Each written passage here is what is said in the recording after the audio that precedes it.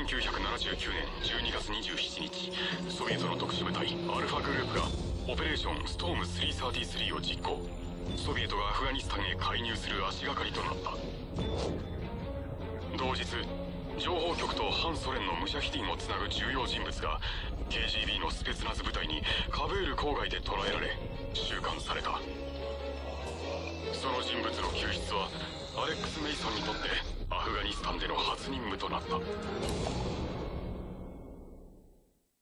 準備よし。よし。重要人物は下の階だ。確保して外に連れ出せ。少数の警備兵しか見えない。簡単に行きそうだ。